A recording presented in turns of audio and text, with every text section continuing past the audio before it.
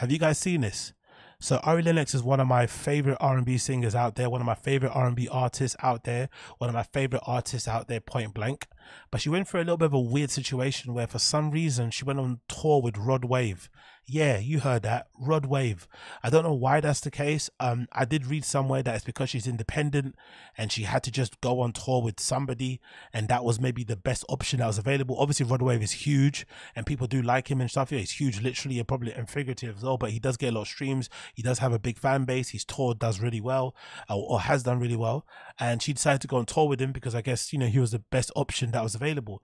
But I didn't really think there was any there was any, you know, there was any sort of link between Ari Lennox's crowd and Rod Wave's crowd. So I didn't understand why she did it in the first place, but she did it and she had a very bad experience, right? She had a very bad experience um, touring with Rod Wave and she spoke about it a little bit. And I'm going to play the video of when she speaks about it and then I'm going to play the video of her going back and forth with Joe Budden. So Joe Budden, for some reason, decided to take personal offense at Ari Lennox being upset about her tour with Rod Wave, and then it turned into a whole debacle, as it always does. So let's play the video of Ari Lennox talking about how she had a bad time on tour with Rod Wave, and then we'll go from there. Everybody else ain't necessarily welcoming and understanding to every type of music, whether you whether you get it or not. Like I don't pay to go to a show and like plot on ways to attack or antagonize or disrespect an artist that's on stage. Like that's just not my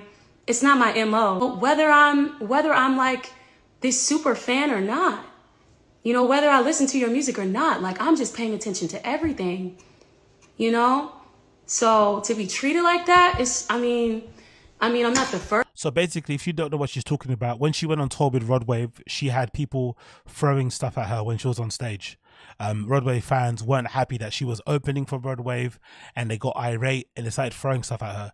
Now, she did kind of lean into it really well. I think the next show that she did, she came out wearing a helmet that was pretty funny, like a motorcycle helmet and shit. But basically, I guess it wasn't a good experience, right? No one wants to be on stage and you're singing your heart out, you know, with her amazing fucking R and B melodies and ballads, and then you're having people throw stuff at you. But Rod Wave's fans didn't weren't happy; they threw stuff at her, and obviously, this is her basically talking about her experience after the fact. First, I mean, there's tons of people who have experienced like violence and disrespect. I mean I was on that stage and somebody, people would have, you know, shit on their screen saying next, like, and I just, I can't deal with That's brutal, isn't it? Brendan and those comedians complain about people saying mean things online, but I don't think anyone's going to a Brendan Schaub show and saying, and putting up their phone and saying bean cheese, bean cheese, right?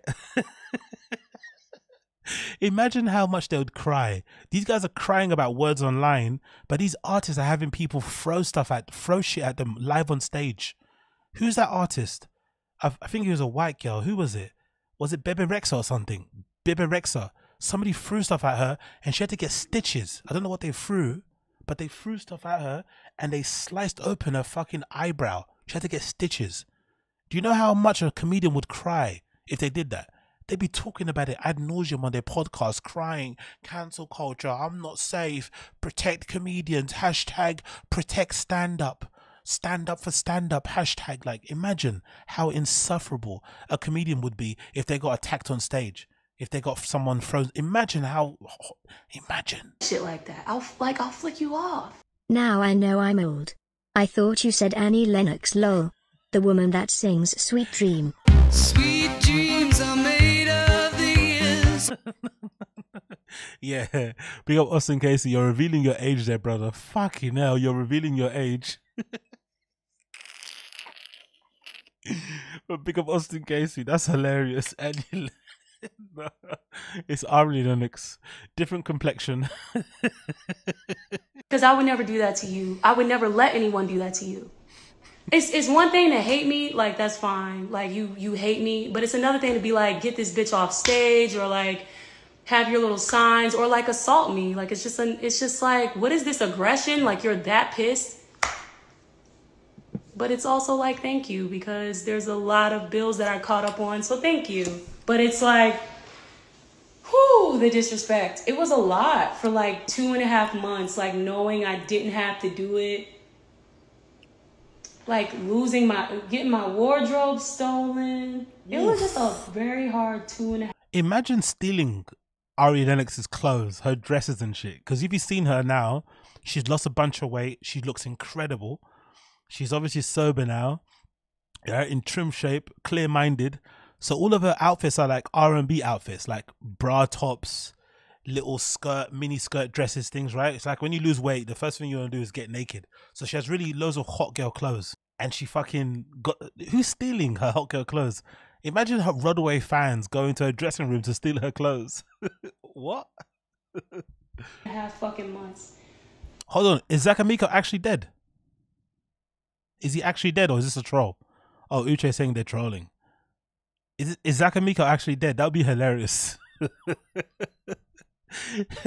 if Zakamiko actually died, I might actually order some Five Guys or something.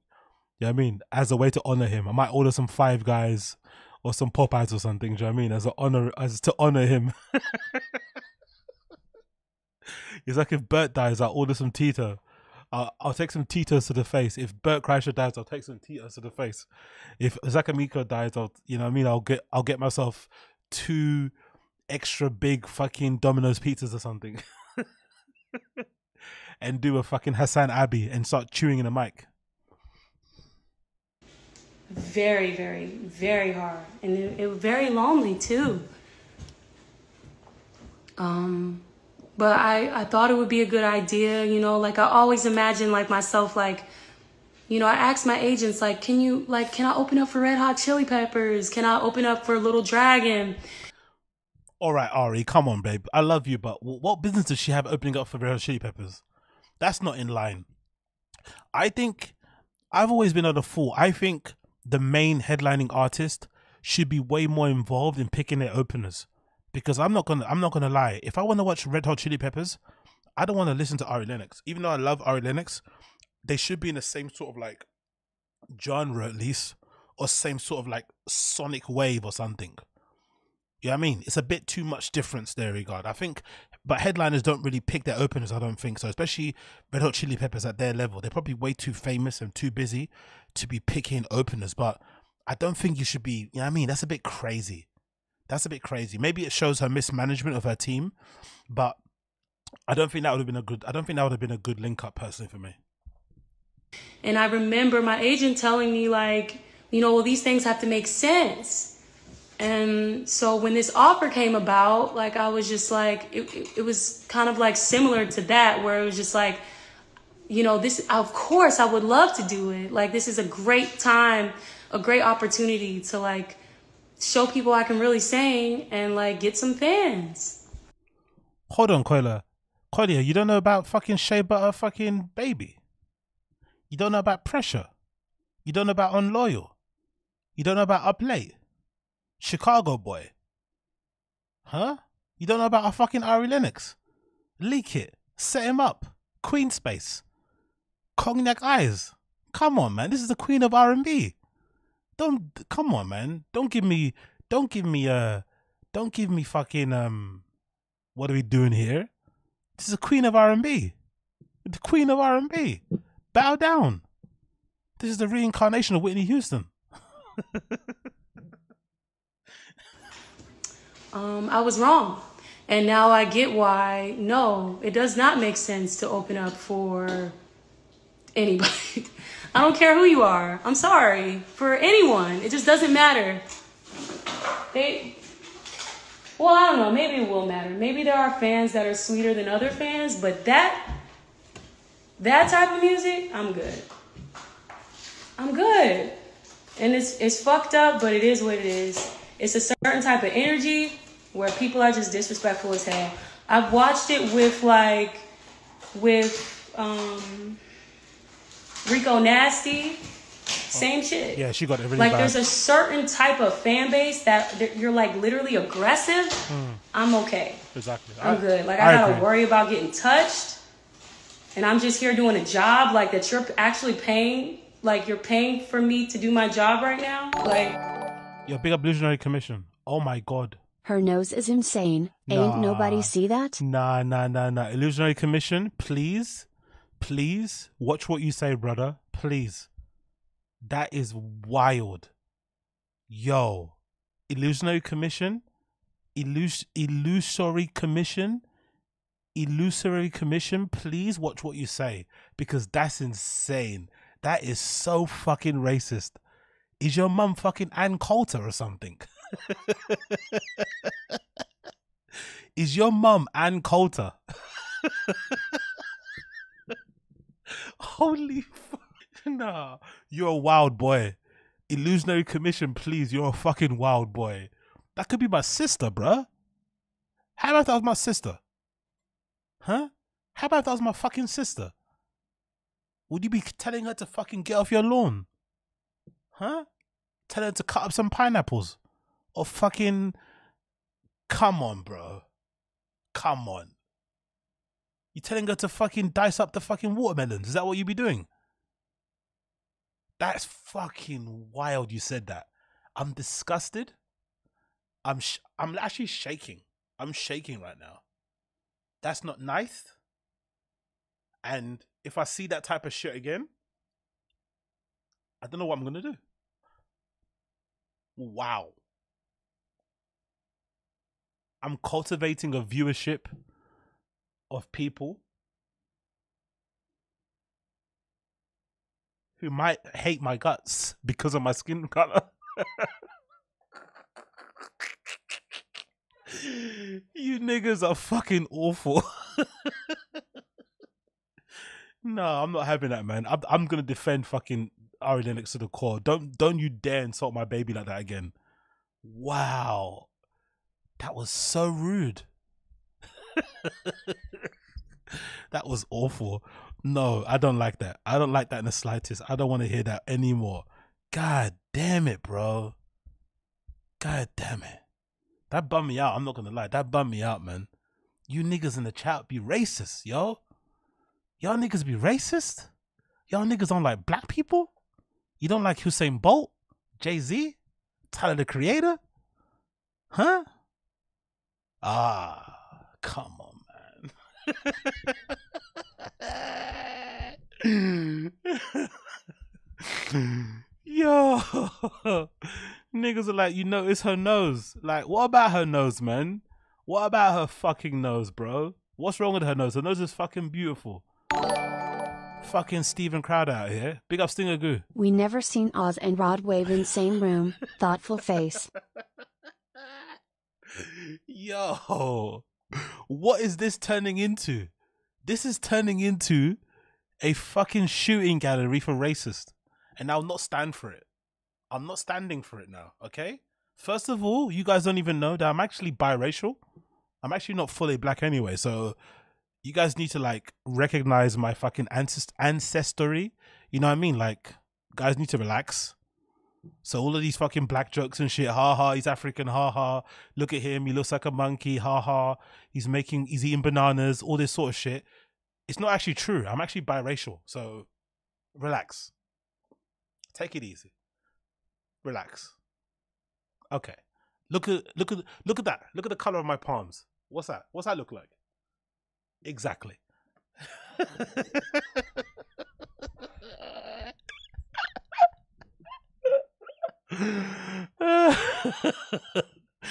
People say biracial with two Africans, you're black mixed with midnight. Yo.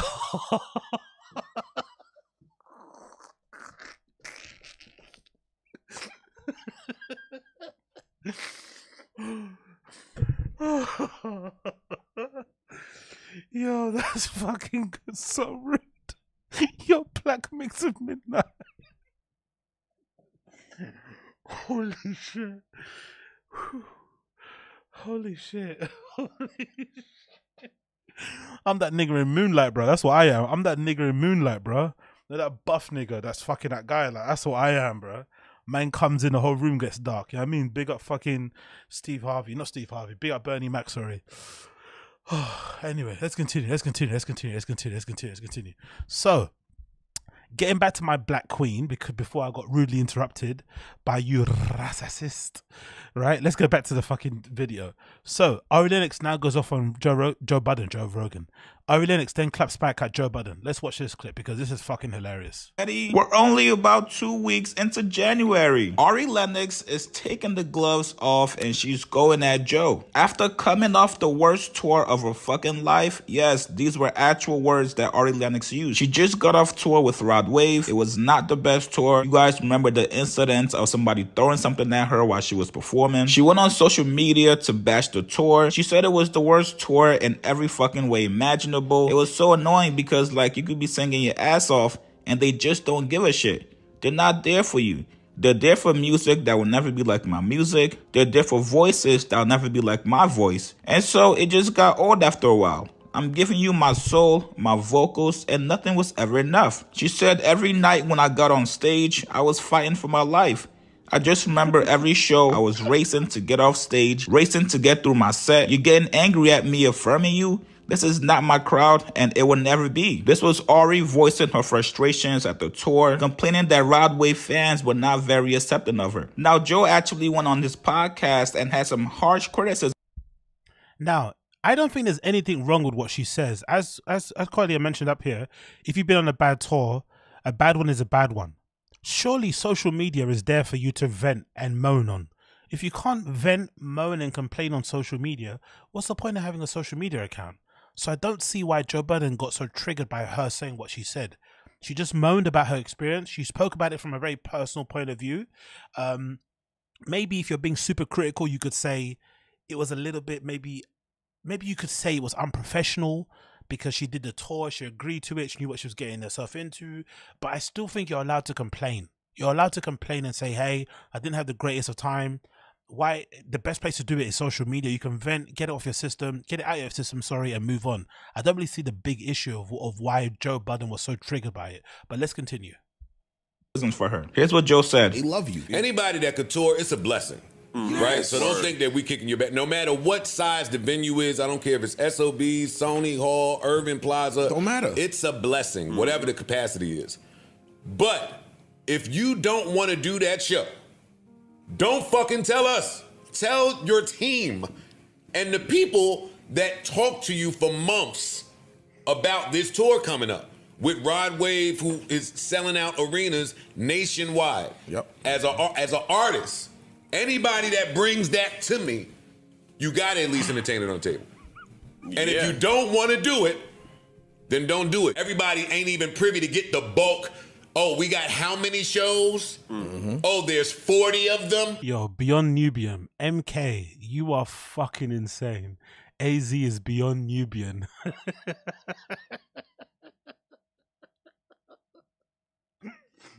so what you're trying to say is that I can't pass for biracial. Is that what you're trying to say? You're trying to say I have no chance of passing as biracial.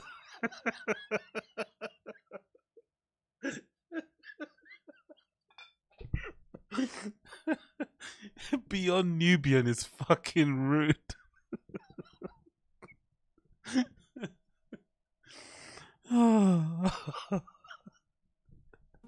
From March to fucking October,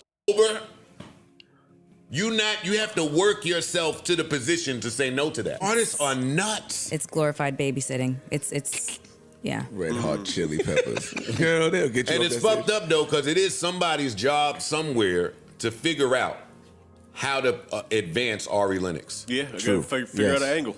Somebody has to still figure this out, especially in an era where songstresses seem to be doing extremely well. And she's amazing, by the way. She's talented. Mm-hmm. she's Yeah, great. she is. Mm-hmm. She's great. She got joints. Call Jazmine Sullivan, playing some shit. Yeah. Yeah. That's true. I just don't like you grabbing your phone to tell the audience how miserable you were when you didn't tell your team or you told them and they didn't really care. If I got to mm-hmm. hear all about the self improvement, then I don't want to hear all about you being a victim. Jesus Christ, bro. I. God Almighty. I don't, I, I, I'm just personally for me. I don't want to hear both. Either self improve and heal Exact- I on your fucking own. I don't have to hear every every little Well, step was- you take. I don't have to know well, about what it. she was also saying is that this had an effect on her mental health. That's what she was also yo, saying. enough. Mel, Mel, Mel, Sorry, I- Mel, look at me. Take your hater blockers off. Enough of that.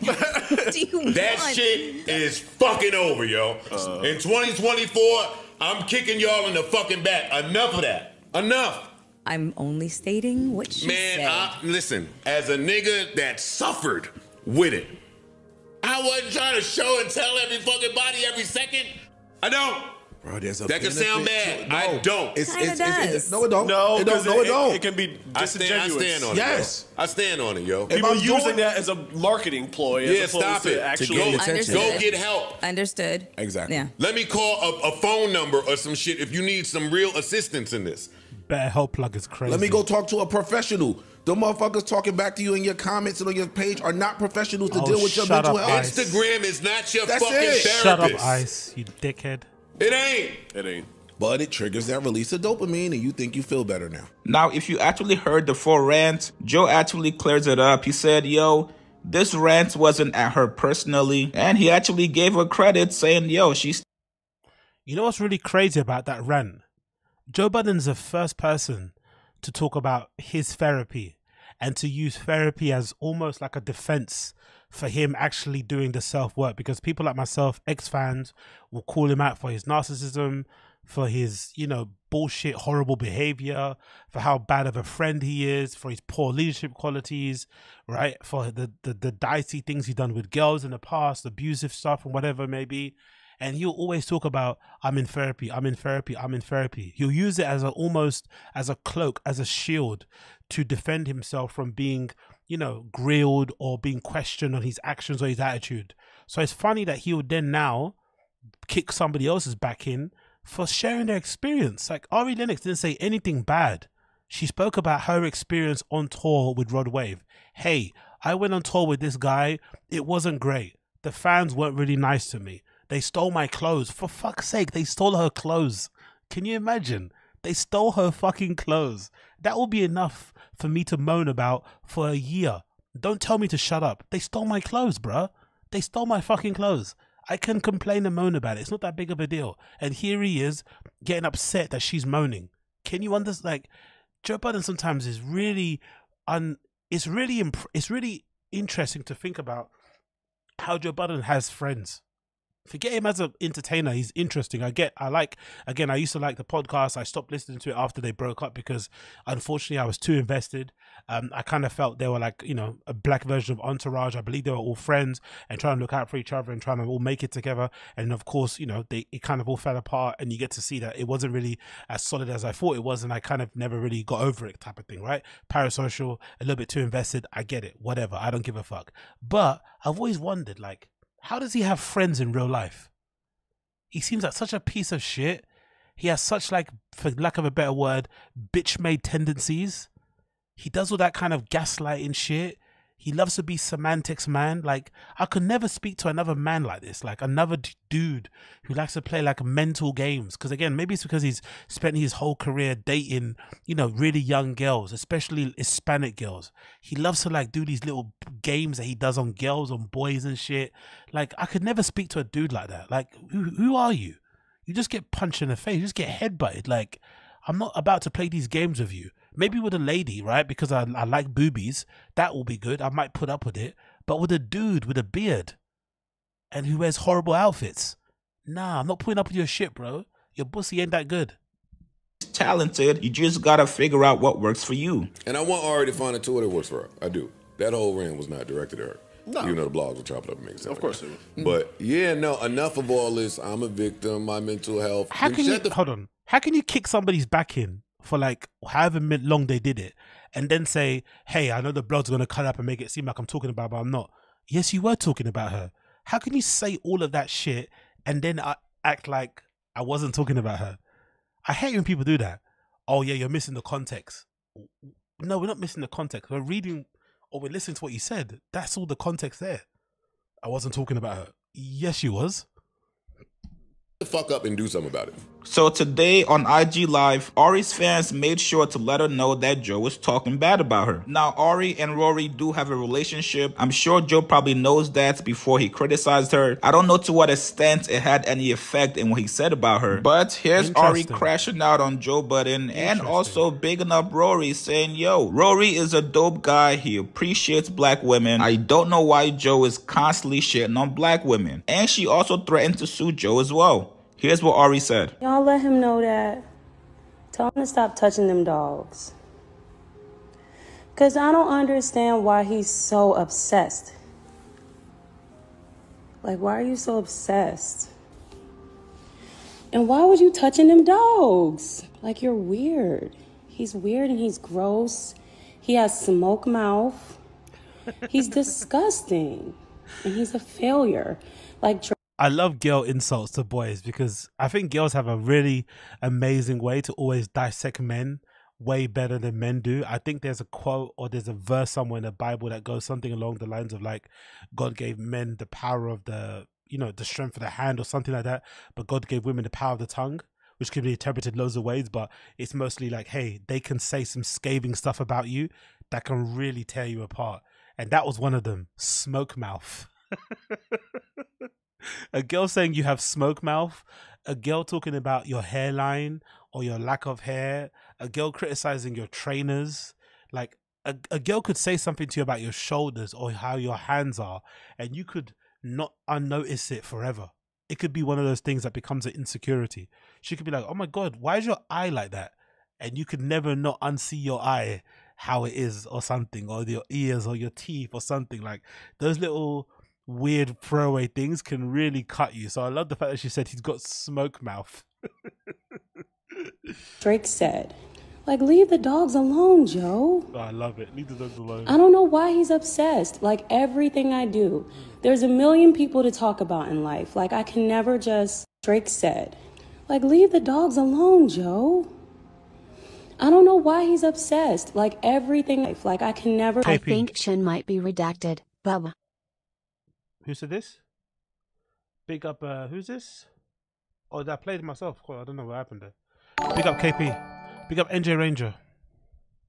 Kanye, Elon, Joey writing sympathy for diagnoses, then proceed to do anything other than do the real work necessary in therapy.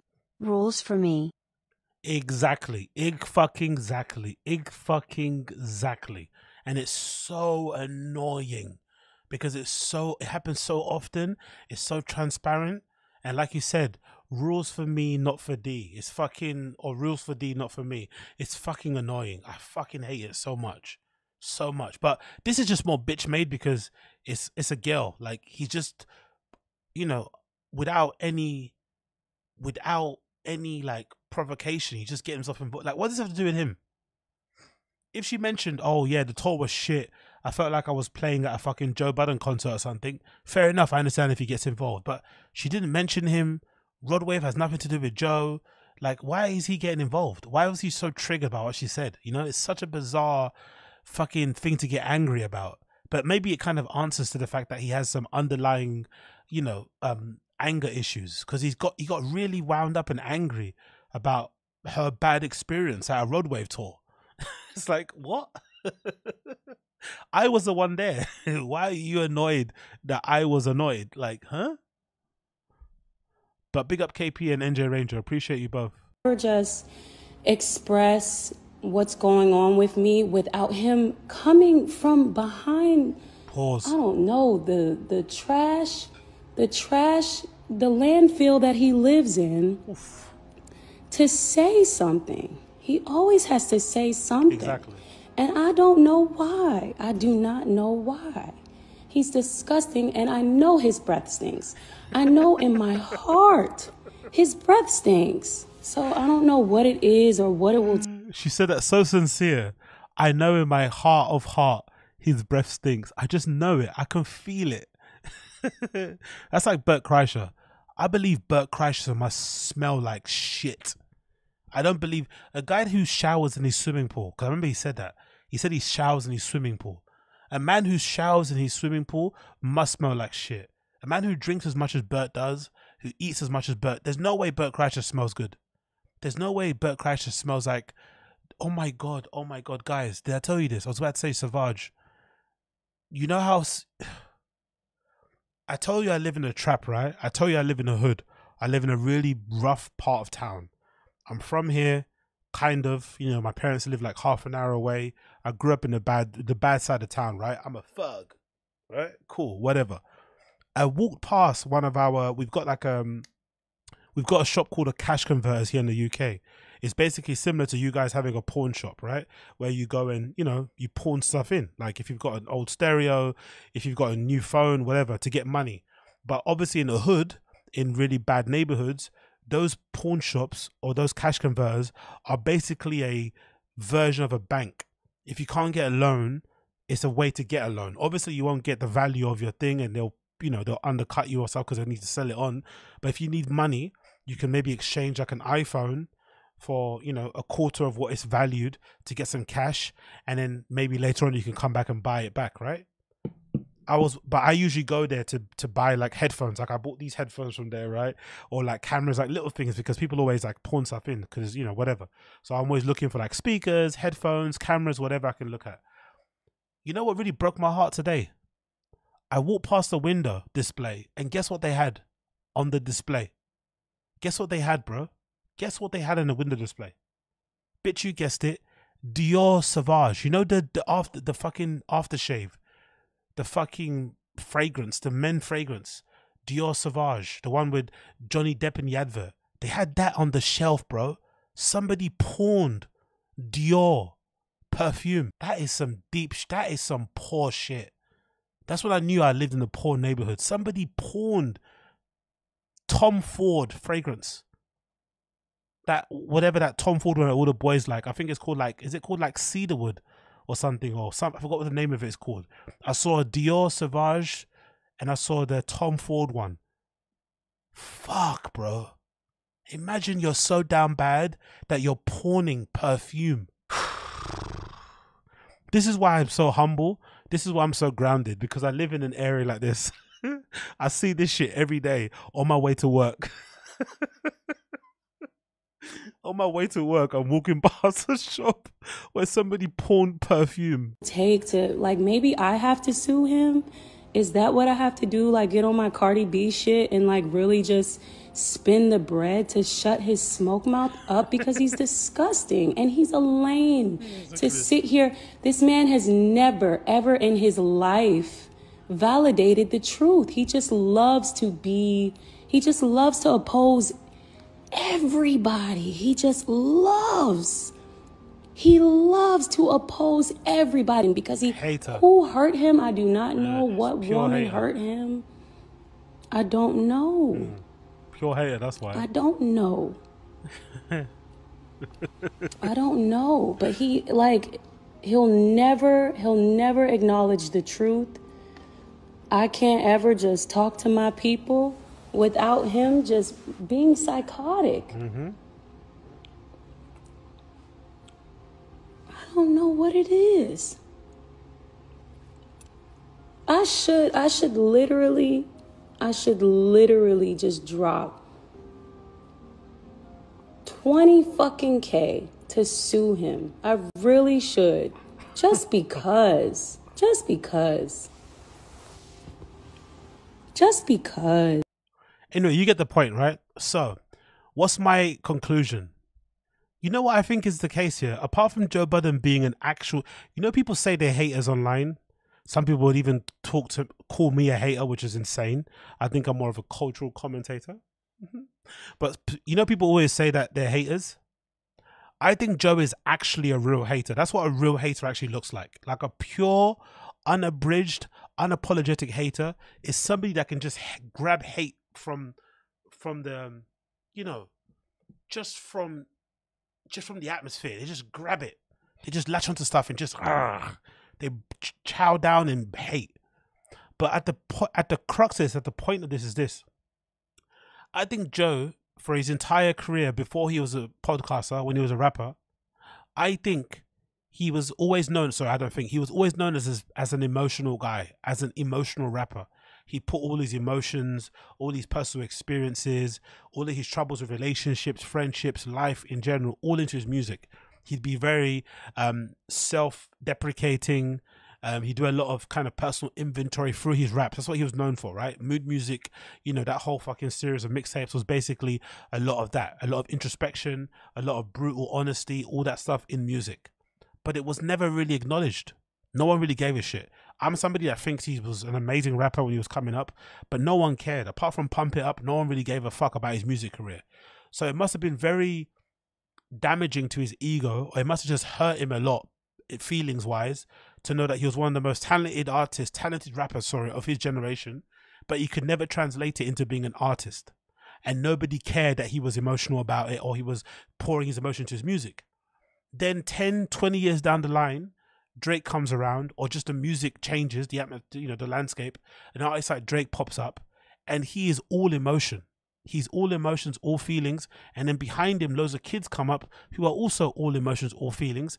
Then the cultural conversation around mental health changes, and people start talking about these things more openly, and you get more sympathy for talking about these things. People are a little bit more understanding of it. So I think at the crux of it, Joe is just jealous that he's not living in this time where people are a little bit more understanding and would acknowledge people's like mental health struggles and the things that they go through that kind of maybe influence their art, their art, maybe distract them from making art. He can't. It it kind of eats where his soul that people don't give a shit about his feelings the way they gave a shit the way they give a shit about people's feelings nowadays. That's what I think is at, at the core of it because I still think, although his podcasting career is where it is and he's done amazingly well, there is probably at heart still a lot of like wouldn't say regret but a lot of contempt for the industry and maybe the fans that he was never able to make it really. He still kind of hates that fact. And then of course when he sees other people doing the joe budden thing of pouring out their hearts of saying how they feel on camera it just fucking eats away at him. That's why he's hating like this. That's the only thing i can think of to explain it because why else would you just jump out the window to attack Ari Lennox about her own experience opening up for Rod Wave. Like, can't I not complain? It's fucking social media. If I want to vent and moan, let me complain. It's not that deep. But anyway, here he goes. Or maybe it's not all that deep. And maybe the reason why he did it is because he wants to do the content of everything. He knows about putting himself in the algorithm. He knows about the the you know, I'm reacting to it, other people react to it that whole kind of economy and he just did it just to kind of get a reaction. Who knows?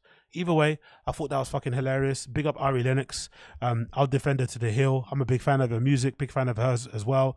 Um, you know, chalk up the the fucking Rod Wave thing as an L, but it happens. It is what it is. Duchess of Fourth come back again. But Joe Budden is a consummate hater, one of the best haters in the world. He's up there. He's, he's definitely one of the top 10 haters of all time. He definitely will go in the Hall of Fame of hating because that was so random that came out the blue and was so unnecessary. But again, it's proof that guy's a hater. You cannot touch him when it comes to hating. He's in a league of his own.